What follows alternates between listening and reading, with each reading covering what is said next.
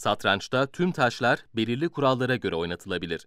Yani hangi taşın satranç tahtası üzerinde nasıl hareket edebileceği önceden bellidir. Oyuncular bu kurallara uyarak sırayla birer hamle yaparlar.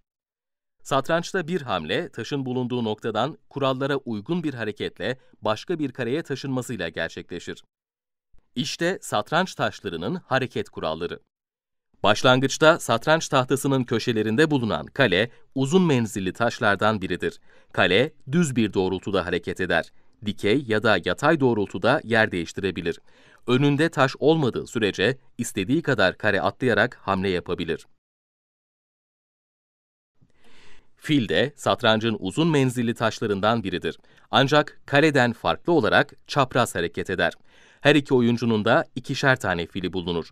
Bu fillerden biri siyah, diğeri beyaz kareler üzerinde çapraz hareketlerle yol alır. Satranç tahtasındaki en güçlü taş vezirdir. Çünkü hem kalenin hem de filin hareket yeteneklerine sahiptir. Yani hem düz hem de çapraz doğrultularda istediği kadar kare atlayarak hamlesini yapabilir.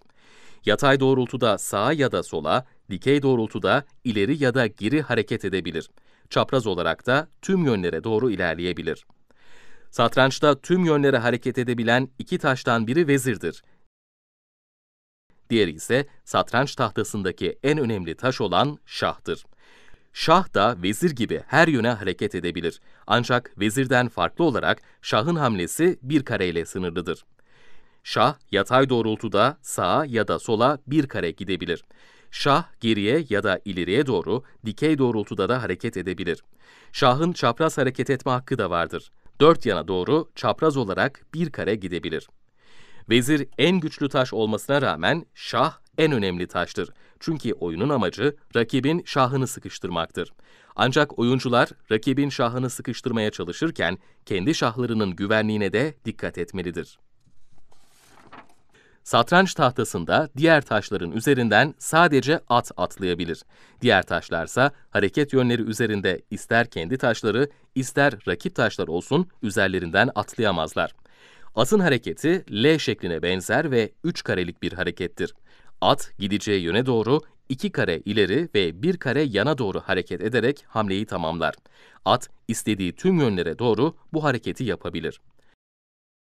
Satrançta hareket kabiliyeti en düşük olan taş piyondur. Piyonlar diğer taşlar gibi geriye doğru hareket edemezler.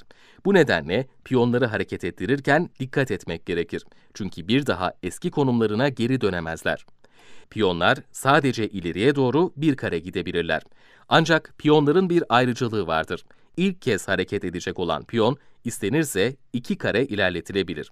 Piyon bir kez yerinden hareket ettikten sonra bu ayrıcalığı kaybolur. İster tek kare, ister iki kare ilerlemiş olsun, piyon bundan sonra sadece ileriye doğru tek kare ilerleyebilir.